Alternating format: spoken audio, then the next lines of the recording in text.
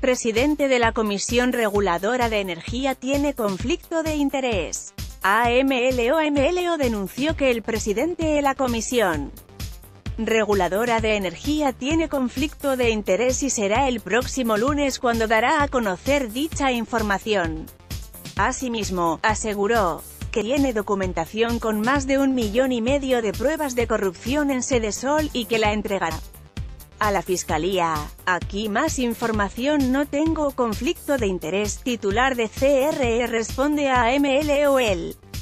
Presidente de la Comisión Reguladora de Energía, CRE, Guillermo García Alcocer, dijo que no tienen conflictos de interés, luego de las acusaciones del presidente Andrés Manuel López Obrador.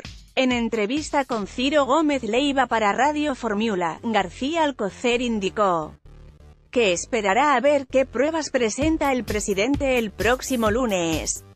Lee la nota completa aquí flecha hacia abajo la política educativa va a cambiar en el país en relación a la nueva política educativa que se quiere implementar, López.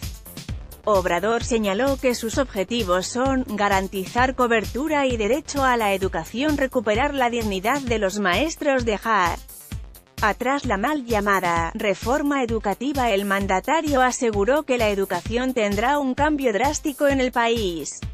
2. De cada tres instancias infantiles son irregulares, AMLO sobre el tema de las estancias infantiles, López Obrador reiteró su argumento sobre las irregularidades, asegurando que dos de cada tres instancias infantiles no han laborado conforme lo dicta la ley.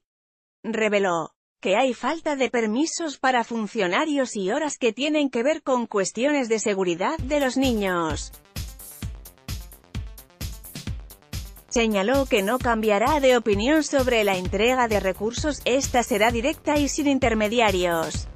AMLO presenta nuevo programa para rescatar a Pemex durante la conferencia matutina de Andrés Manuel López Obrador se presentó el nuevo programa financiero para rescatar a Pemex. Las acciones que se llevarán a cabo serán las siguientes. Capitalización por 25 mil millones de pesos prepago de deuda de Hacienda por 35 mil millones de pesos Gobierno federal incrementa incentivo fiscal y reduce carga fiscal, por 15 mil millones de pesos el mandatario aceptó el reto de sacar adelante a Pemex y limpiarla de la corrupción. Aquí la información